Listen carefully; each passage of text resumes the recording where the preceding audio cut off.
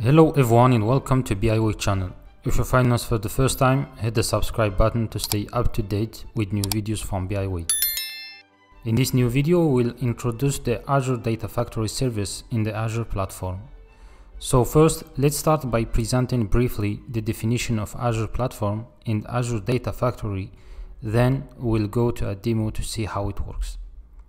Microsoft Azure, or just Azure, is a cloud computing platform that provides access, management, and development of applications and services via globally distributed data centers. Microsoft Azure has multiple capabilities such as software as a service, platform as a service, and infrastructure as a service. Also, it supports many different programming languages, tools, and frameworks. In this video, we'll focus on Azure Data Factory. So Azure Data Factory is a cloud-based ETL and data integration service that helps you to create data-driven workflows to orchestrate data movement and transform data at scale. By using Azure Data Factory, you can create actionable business insights from your unorganized data. This allows you to make better business decisions. Azure Data Factory is a cloud-based data integration service which allows you to collect data from multiple sources, then load this combined data to a location or destination suitable for data analysis. If necessary, you can transform the data during this process. Azure Data Factory is composed of six main components. Activities, a single process and step in a pipeline. We have three types of activity, data movement, data transformation, and control activities. Pipelines, are logical grouping of activities that perform a specific unit of work. Linked service, Define the required connection information needed for Azure Data Factory to connect to external resources such as a data source. Dataset represent data structures within the data stores. Data flows enable to develop data transformation logic without needing to write code, which run as activities within the Azure Data Factory pipelines. Integration runtimes an integration runtime provides the bridge between the activity and the linked services. These components work together to provide a complete end-to-end -end platform for users and data engineers. Now let's create our first pipeline. In this example, we will move a file from a container in a blob storage to another container. So let's jump to Azure. Here I'm connected to the Azure portal and I have already created a storage account with two containers. The first one is source and the second one is destination. Inside the source container, we have a CSV file named sales data. It contains some data about product subcategory, dates, and the amounts.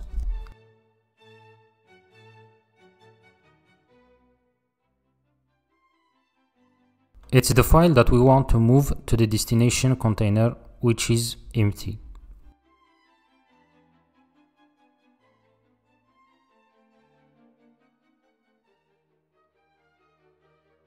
Let's go to the Azure homepage to create a data factory. We have different options to create it. First, we can search data factory in the search area at the top center of the page, then select data factories and select create.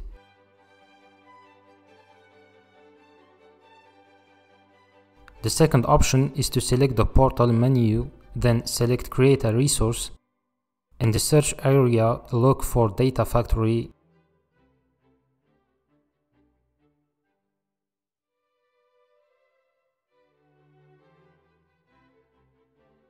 and select create or we can find the data factory based on the category. We know that the data factory is an integration resource, so we will find it there. When we hit create, we will be redirected to the configuration page. We need to select the subscription resource group. We can create a new resource group if we want to. Then give the data factory a name.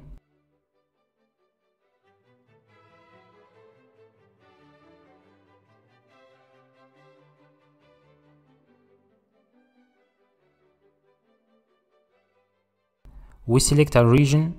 In my case, I'll choose France Central, which is the closest to me. Then the version of the data factory. So we filled in the basic fields. For the other options, we leave them as default we select review and create, then create. As you can see, the deployment is in progress, which will take a few seconds to complete. Now it's complete and we can click on go to resource to open it.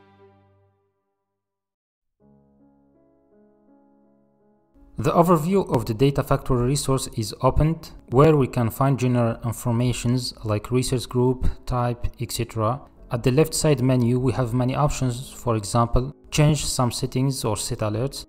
But for this video we're going to open the data factory and create our first pipeline. So select Launch Studio.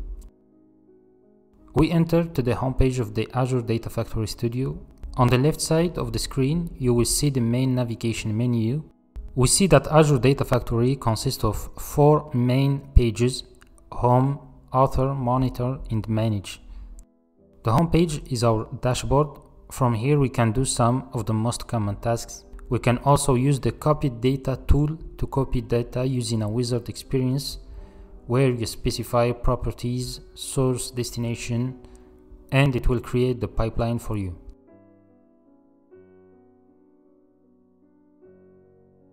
The author page is our main development environment. This is where we'll be spending most of our time during development, which we will use in a few seconds.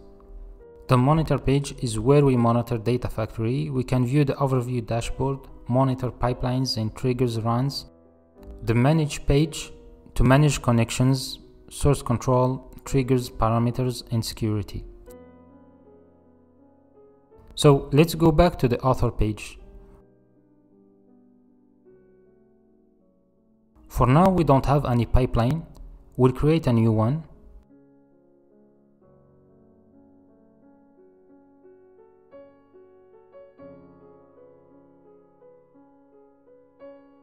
Let's rename it.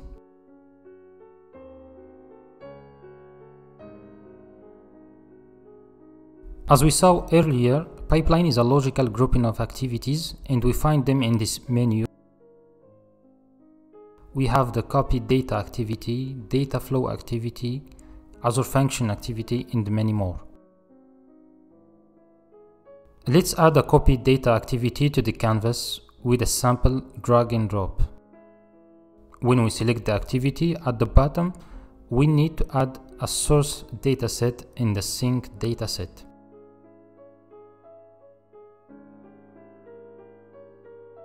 If we select source, we can create a new source by clicking on the new button or we can use the menu at the left, go to datasets, then click new dataset. We need to select a data source. In our case, it is an Azure Blob Storage. Hit continue, then we select the file format. Those are the supported format. Because we only need to move the file, we will select binary, then select continue Let's give it a name to our dataset and select a linked service. We don't have yet any linked service, so we will create a new one.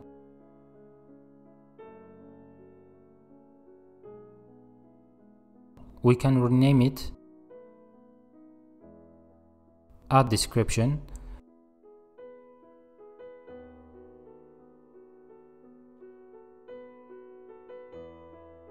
For the authentication type, we have many options. It is recommended to use managed identity and service principal, but for this video, we will use account key. For the account selection method, we can choose either from Azure subscription or enter manually to add the account name and key manually, but we will go with the first option where we select the subscription and the account name.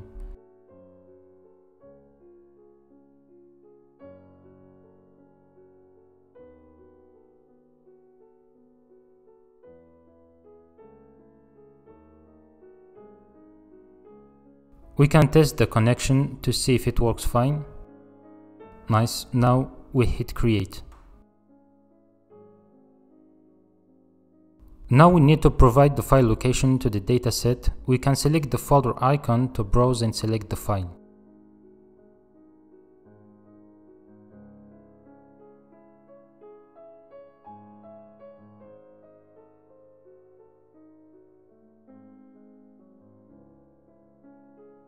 We select OK. As you can see, our new dataset is created. Now if we go back to our pipeline and select the activity, then the source, we can find the dataset created as an option. So we select it. Because we're going to move the file to another location, we need to create a new dataset. So let's repeat the same steps.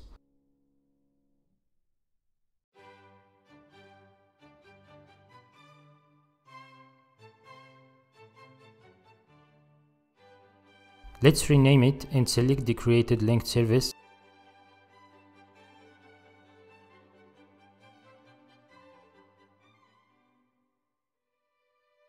and choose the path.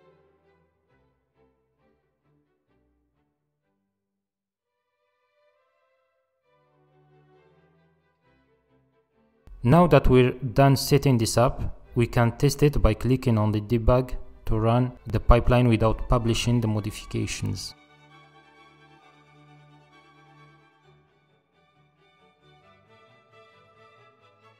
As you can see, the status of the pipeline run is queued.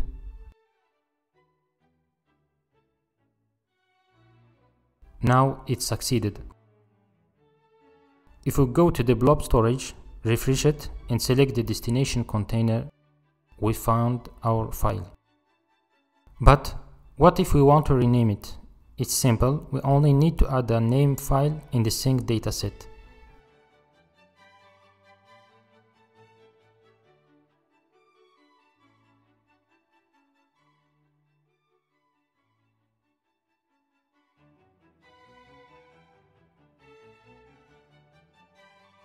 Let's debug it again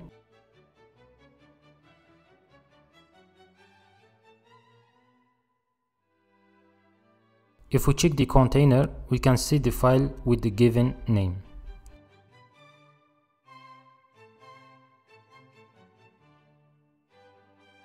When you finish your development, you can validate all to see if there are no errors, then publish your work by selecting Publish All.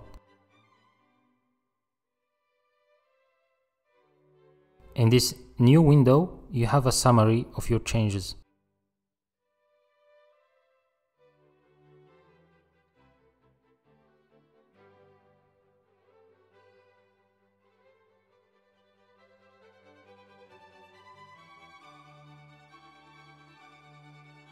Next, to schedule our pipeline, we need to go to the Manage page, select Triggers and create a new trigger.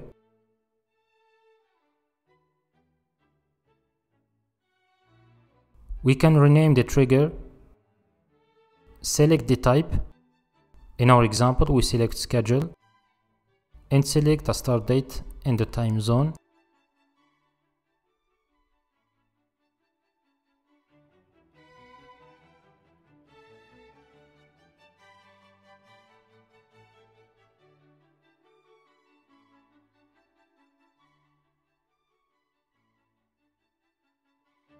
Now that we created the trigger, we need to associate it with the pipeline. Let's select the pipeline and at the top center, we select add trigger, then new edit and select the trigger, then hit OK.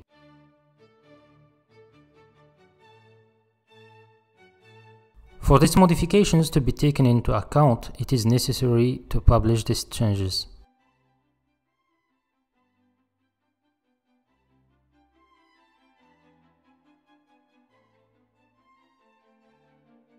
Note that we can also trigger the pipeline manually and see its execution in the monitor page.